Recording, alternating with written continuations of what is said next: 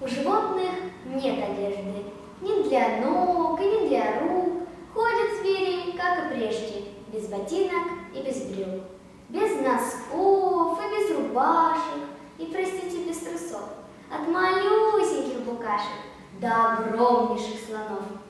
Вот одеть бы их по моде, нарядить и так, и сяк, что, гуляя на природе, люди видели бы как. Разноцветных пиджаках, а коровы носят боты на высоких каблуках. Впрочем, это лишь надежды, вызывающие смех. У животных нет одежды, только шкура, только мех, только мех и только шкура, от копыт и до горба. Уж такая их натура.